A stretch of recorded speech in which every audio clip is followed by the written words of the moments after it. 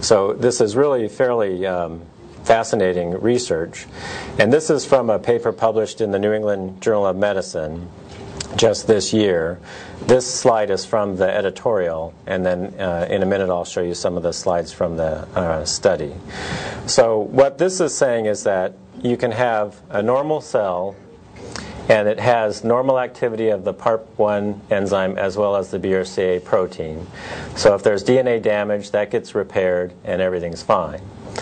You can have a cell that has a mutation in BRCA1 such that you have a cancer, so you have a hereditary mutation, you have a second mutation in the normal allele, so the BRCA1 is completely turned off.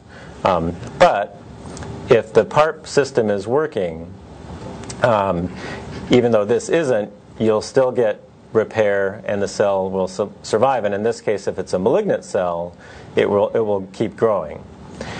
If you have a PARP inhibitor, let's say you take your drug and you're going to block the PARP enzyme now, but the tumor has active BRCA protein, it will continue to repair and continue to grow.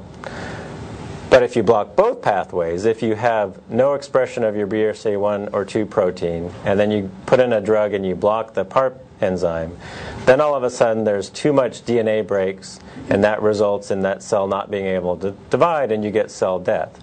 So you can go from a cancer cell growing here to one that cannot sustain itself and then it dies.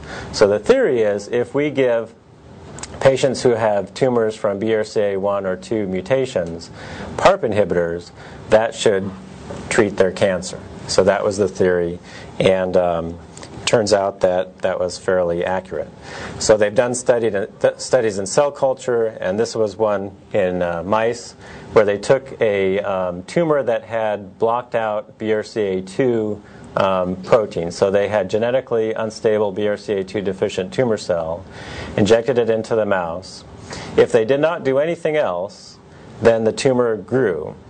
If they gave a PARP inhibitor, then there was no tumor growth. Okay, so that was proof of principle there. So that was very promising. So then they said, well, let's try that in patients. But before I get to that, here's a slide that just is another way to look at it.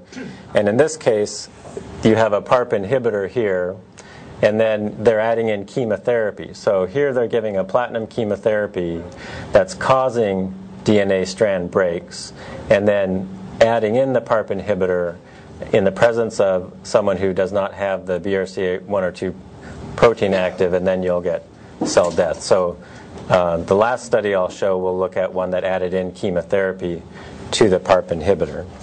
The first one, though, which was just this New England Journal article, um, just gave patients the PARP inhibitor. And they gave one called olaparib, uh, and this was an oral agent for them.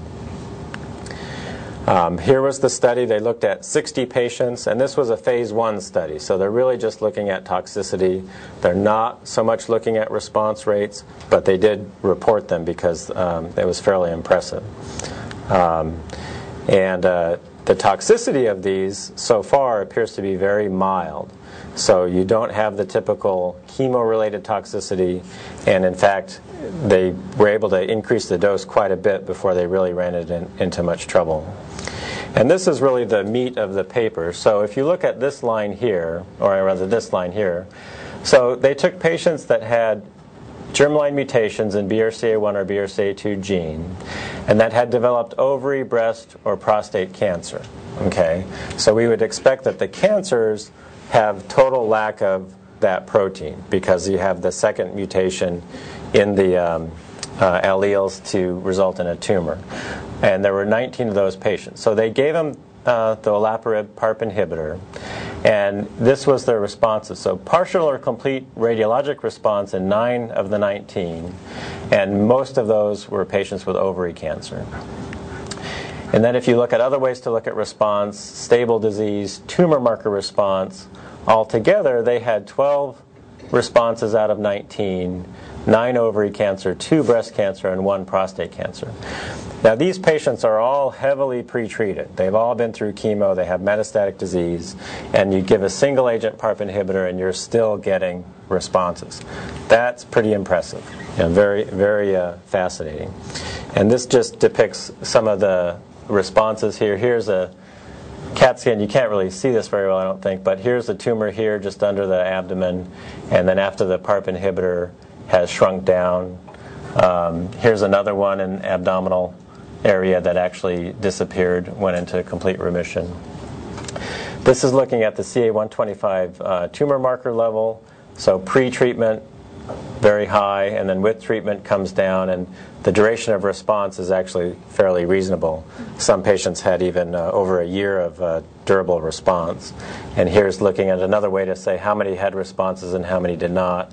So the red here are the number of patients with progressive disease, and then these colors are people who've had responses as well up to 80 weeks um, worth of, of response. So very uh, um, powerful result. So the authors in their conclusion said that olaparib um, inhibits the PARP enzyme. It has anti-tumor activity in cancers that are associated with the BRCA1 or BRCA2 mutation carriers and is very well tolerated. So that leads to part three. Any questions there? Okay. And you're lucky because I only have three parts. So let's see if I can find it. So this now is a study um, combining a PARP inhibitor with chemotherapy.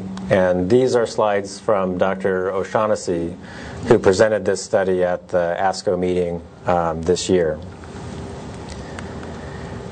So in this study, um, they used a uh, PARP inhibitor called BSI 201 from Bipar Sciences. This is an intravenous uh, agent. Um, and uh, they, they were doing a phase two study, so they were looking at um, toxicity, but they also wanted to look a little bit more at responses. So this was a multi center open label trial, and it was a randomized study between chemotherapy with gemcitabine and carboplatin in both groups, with or without BSI 201, in patients with triple negative breast cancer. So they didn't have to have a hereditary BRCA1 or 2 mutation, they just had to have triple negative breast cancer. And they looked at a clinical benefit rate, which is basically combining a responses plus stable disease. Um, and then they also secondarily looked at progression free survival and overall survival.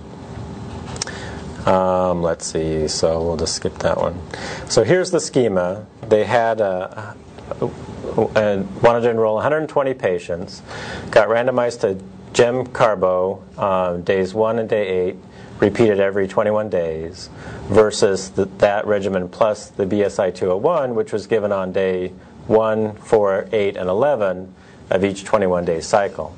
And you, patients could stay on that until they progressed from disease. And if you got randomized to the non to the standard arm, you could cross over um, if you progressed on that and get the PARP inhibitor. So this study uh, just uh, finished up enrolling earlier this year, and um, of the 123 that they looked at, 116 actually went on trial. Um, and let's see, and they're they're going to I don't think this has been published yet. They'll do the final analysis, I think, later this year. The two arms were pretty well divided um, here 62, 61 patients. Mo- majority were um, Caucasian. Um, pretty good performance status. Most of the metastatic sites were lung, liver. They did allow brain uh, metastasis. Um, and again, very heavily pre-treated population. So most people had uh, some form of chemotherapy before going on this trial. They did a sub-study where they looked at the expression of the PARP enzyme in these tumors, and uh, you could see that in the triple negative breast cancer, the PARP enzyme is upregulated. So it makes sense that we would try to block that with an inhibitor. And in the control um, tissue, they did not see that.